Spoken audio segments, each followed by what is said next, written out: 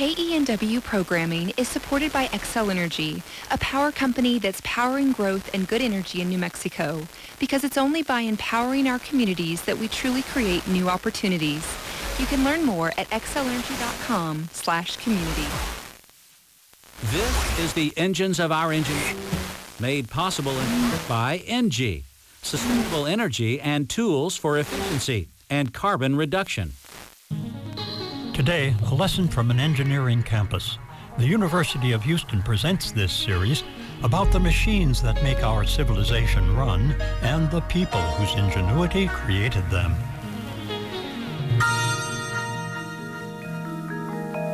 I've often talked about how technology mirrors us and how we mirror our technology. More than we realize, we are reflections of the things we make. So how does that mirroring work in engineering schools, the places where so many people get their start in shaping our technology? Well, we constantly tear down and rebuild. But do we trail behind or set the future as we build?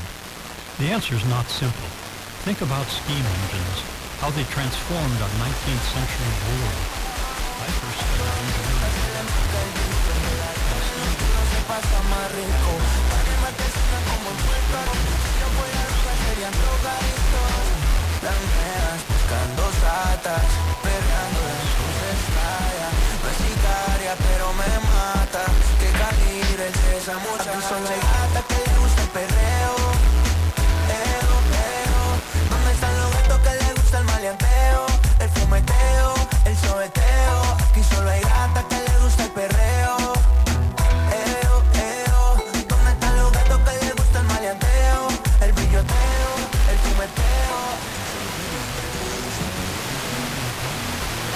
Way the past and forefront overlapped seems puzzling.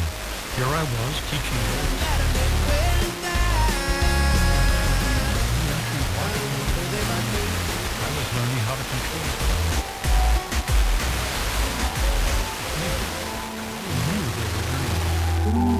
Old machines go out and create new machines.